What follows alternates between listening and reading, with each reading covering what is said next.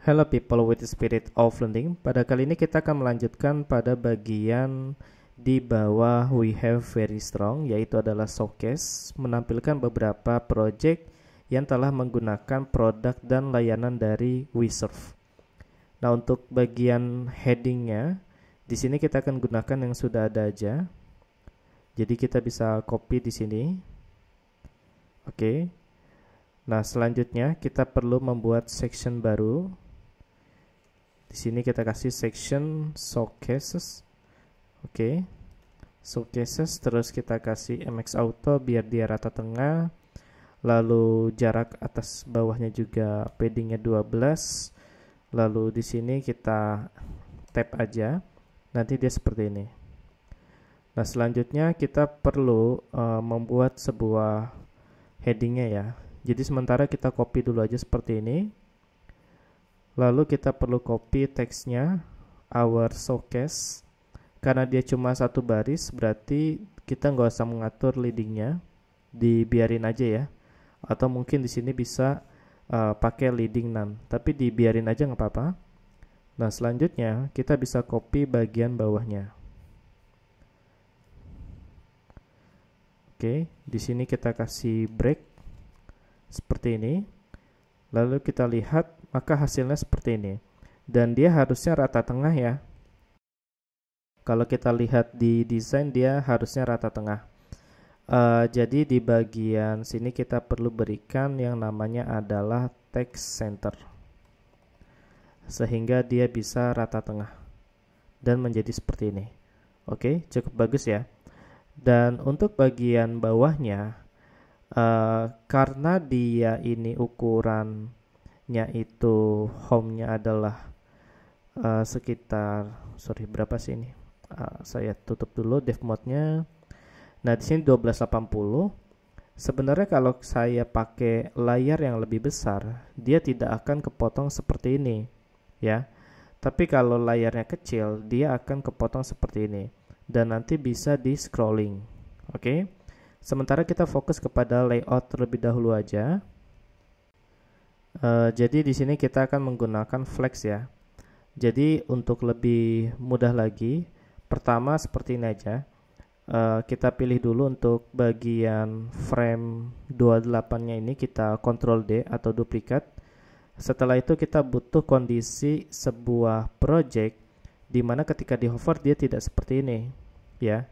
Jadi di sini kita hapus saja untuk efek hovernya. Oke. Okay buttonnya juga kita hilangin aja dulu. Seperti ini. Jadi dia pure satu uh, thumbnail seperti ini. Nah selanjutnya di sini kita kasih nama showcase 1 lalu ini showcase 2 ada tiga dan juga empat. Lalu kita akan seleksi semuanya. Oke okay. kita akan export kali tiga seperti biasa.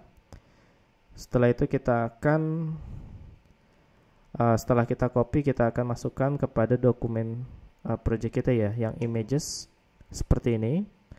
Nah selanjutnya kita perlu menggunakan flex untuk mendisplay seluruh portofolio tersebut. Nah jadi di sini kita bikin dulu aja flex flex wrap ya.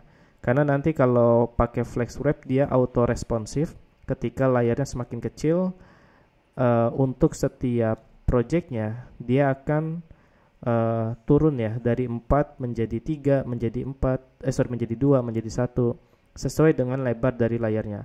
Saya susah jelasinnya tapi kita nanti bisa lihat sendiri ya. Jadi di sini kita perlu menggunakan flex wrap tapi ini udah hilang emotnya jadi saya harus tulis ulang. Flex flex wrap. Oke seperti ini. Nah selanjutnya uh, kita bikin karena dia nanti ada posisi absolut ya seperti yang di bagian sini kita harus membuat uh, div ini atau card tersebut menjadi relatif oke okay?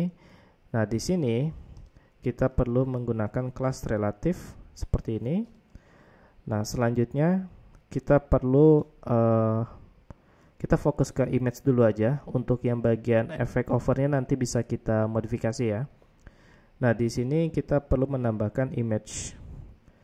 Jadi di sini kita tambahin aja image images showcase 1 seperti ini. Lalu untuk uh, panjang dan lebarnya kita atur menggunakan arbitrary value 320 pixel dan untuk tingginya 220 pixel.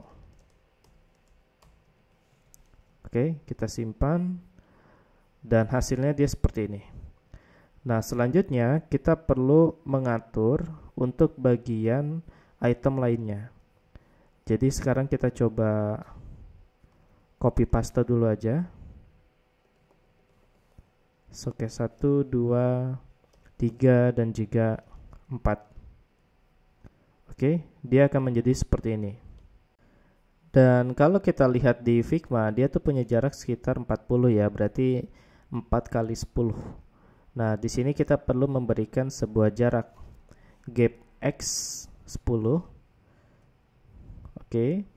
Sekarang kalau kita coba preview kembali, udah dapat hasilnya seperti ini. Cuman dia belum rata tengah, berarti kita harus menggunakan apa? Justify center dan di sini belum memiliki sebuah jarak ya atau gap.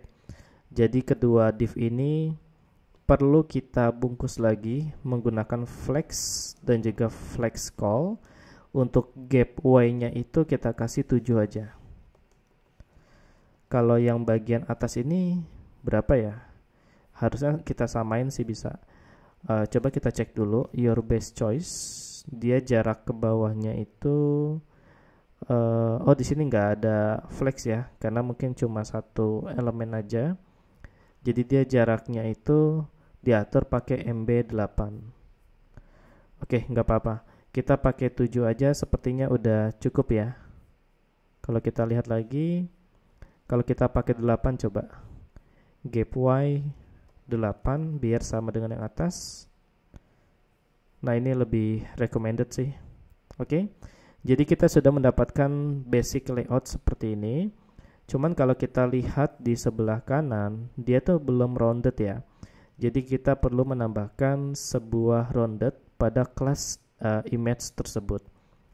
Nah, di sini kita akan menambahkan rounded 2XL. Sama dengan yang atas ini ya, 2XL. Jadi sekarang sudah memiliki border radius seperti ini sehingga dia menjadi lebih smooth lagi dari segi tampilan.